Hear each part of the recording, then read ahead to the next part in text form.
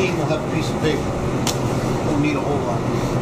All right, when you're gonna get your, uh, your strip loin, you need to identify which end is the rib end, which end is the sirloin end. This is the sirloin end. It's much rougher looking. It's got a vein that runs through it. Vein end, sirloin end means the same thing. Okay? This side over here is your rib end. Nice and clean, solid muscle, much more desirable, correct? Yes, sir. All right, that's where you're going to start. We're going to take our slices off of our rib end. Each one of you is going to cut four slices. Four three-quarter inch steaks.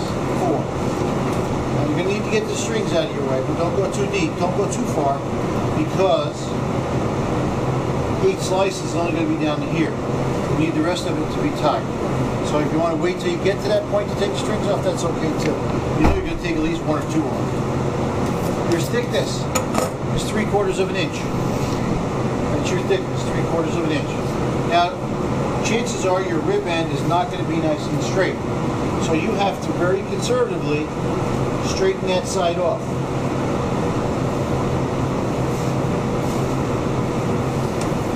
What I've done was I've taken off enough to give me a nice clean edge without being too wasteful. Then you go take an inch slice off just to get it even. Took off all I needed just to get just to make it even, that's all. Alright, so you're gonna measure three quarters of an inch.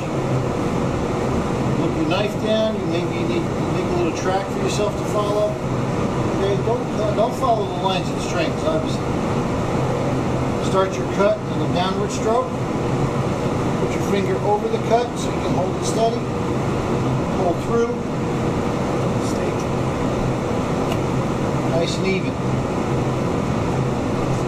Okay? One.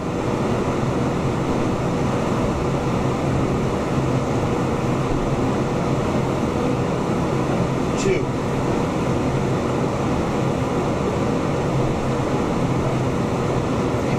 See how that's about eight to ten ounces. Eight ounces, about eight ounces. See how I got my thumb going across both pieces? Yeah, for sure. Holding it together so when I pull my knife out, this doesn't want to pull around and give me a unwanted tail, so to speak.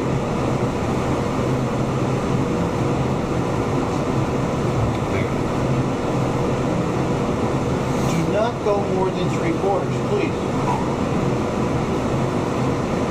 Otherwise it doesn't meet the, for Then you'll take these steaks, each one of you, one, two, three, four, and you'll bring it to me so I can grade it. Grade it.